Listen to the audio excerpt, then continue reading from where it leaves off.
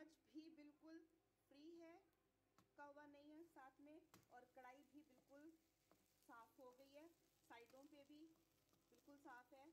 तो आप लोगों को एक और अच्छी बात बता दूँ। रहीम जी, ये तकरीबन एक पाव देसी घी है, और इसमें मैं शामिल कर रही हूँ। ये चार अदद इलायची के बीज हैं छिलका मैंने निकाल दिया। टन ब्राउन हो गई है। अब इसमें मैं शामिल करूँगी ये एक प्याली।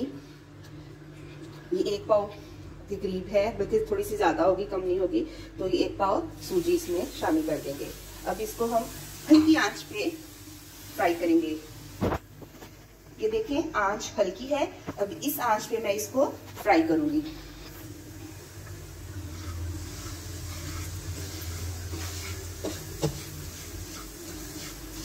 जितनी हल्की आँच पे इसकी भुनाई होगी उस कदर ज़्यादा ये मज़े का हमारा हलवा तैयार होगा। अभी थोड़ा सा हुआ है, थोड़ी सी बुनाई हुई है देखिए थोड़ा सा कलर भी चेंज हो गया है और हल्की हल्की खुशबू आनी स्टार्ट हुई है अभी। और दूसरी साइड पे मैंने पानी रखा है गर्म होने के लिए, जो कि मैं हलवे में यूज़ करूँगी। चाश नहीं बना रही मैं, चीनी की, यानी कि शीरनी नहीं बना रही, मैं बना रही हूँ गर्म पानी करके मैं ये ऐड कर दूँगी। ये देखें, अब ये बिल्कुल परफेक्ट कलर हो गया जैसे मुझे चाहिए था बुनाई कंप्लीट हो गई है। बहुत ही खुशबूदार, बहुत ही ज़बरदस्त खुशबू आ रही है, पूरा घर महक गया है मेरा। और इसमें मैं अब चीनी ऐड कर रही हूँ। ये एक प्याली जितनी सूजी थी, उसे थोड़ी सी कम ली है मैंने। अब इसको अच्छे से मिक्स कर दूँगी। किचन में बहुत ज़्यादा गर्मी है तो आपको थोड़ा सा शोर आ रहा होगा। मैंने एग्जॉस्ट फ़ैन चलाया हुआ है। इसके लिए माजरत जी तो अब मैं इसमें ये बॉईल कर लिया मैंने सिर्फ़ गर्म नहीं किया, इसको अच्छे से बॉईल किया पानी को। अब मैं इसमें ये ऐड कर दूँगी। शीरा डालते हैं, लेकिन ये बॉईल पानी से और वही टेस्ट आएगा जो शीरे का आना है।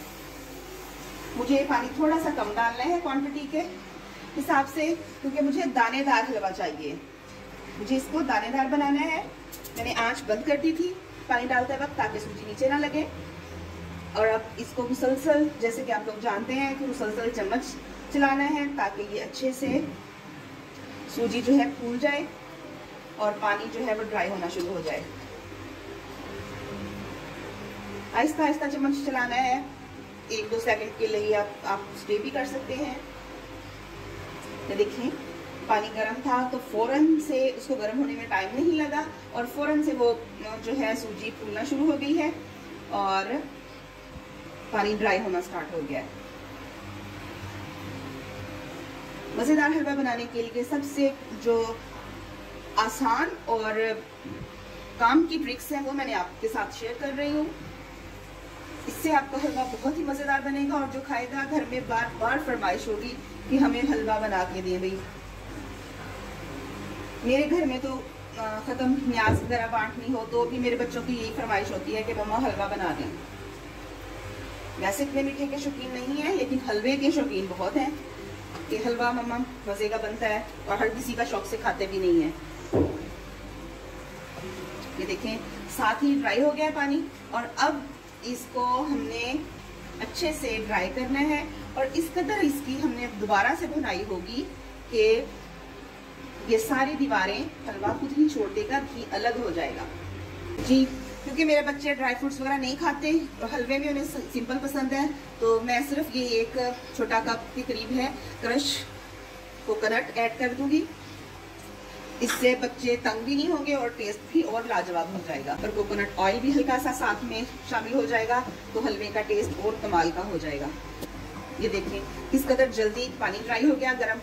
बॉयल पानी डालने से और हलवा भुनाई पे आ गया है।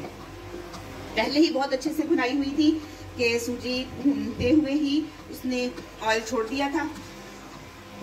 सूजी ने तो अब देखें कैसे दानेदार अभी से बनना स्टार्ट हो गया लई सी नहीं है। आप देखें नोट करें कि ये लई सी बनी ही नहीं है। ये बना ही, देखें स्टार्ट में ही ये दानेदार होना स्टार्ट हो गया है। ये देखें चम्मच भी बिल्कुल फ्री है हुआ नहीं है साथ में, और कढ़ाई भी बिल्कुल साफ़ हो गई है, साइडों पे भी बिल्कुल साफ़ है। तो आप लोगों को एक और अच्छी बात बता दूँ कि आप लोग हलवे को, खीर को, कोई भी ऐसे जो मीठा ख़ास तौर पे बनाएँ तो या मिट्टी की बर्तन में बनाएँ, या फिर नॉन स्टिक में बनाएँ। इससे बर्तन के साथ कभी भी नहीं चिपकेगा आपका मीठा।